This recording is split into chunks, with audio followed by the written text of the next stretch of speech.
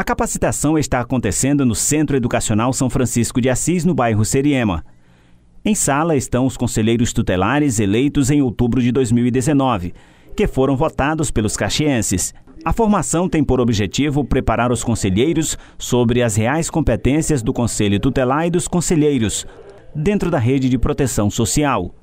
A capacitação está sendo oferecida pelo Conselho Municipal dos Direitos da Criança e do Adolescente. Hoje a gente tratou exatamente da parte das atribuições dos conselhos tutelares, né, do que eles devem e não devem fazer e da, da, da própria desconstrução de alguns mitos em volta do papel do Conselho Tutelar né? E aí, se o conselho tutelar deve fiscalizar bar, né? Se ele tem que tirar criança de, de boate, adolescentes de boates, então a gente está fazendo todo esse processo de desconstrução de alguns mitos e deixando claro quais são as funções que eles têm realmente que atuar. E foi feito esse momento essa de hoje especificamente para os conselheiros, para os, os suplentes e também os conselheiros do CMDCA para essa formação, porque vão começar aí o seu trabalho assumindo o seu compromisso como conselheiros tutelares, né?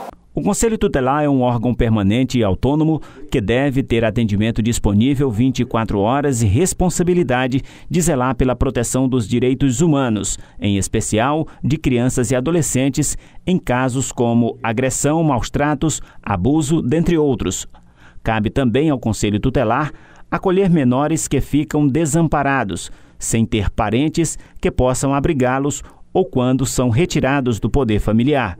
O mandato de conselheiro tutelar tem duração de quatro anos. A posse dos atuais conselheiros que estão em formação vai acontecer na próxima sexta-feira, dia 10, no auditório da Prefeitura de Caxias, a partir das 9 horas da manhã.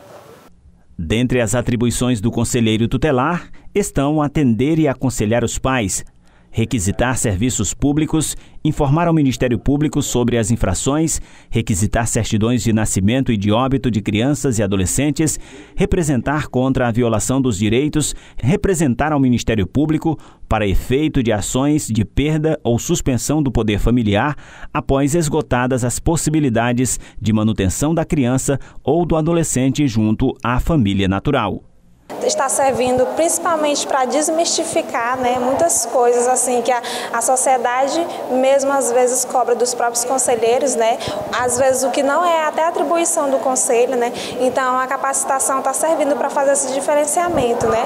E também sobre as atribuições e saber é, como resolver e como medir, como fazer essas medidas em cada caso. E é responsabilidade, na verdade, uma das atribuições dos próprios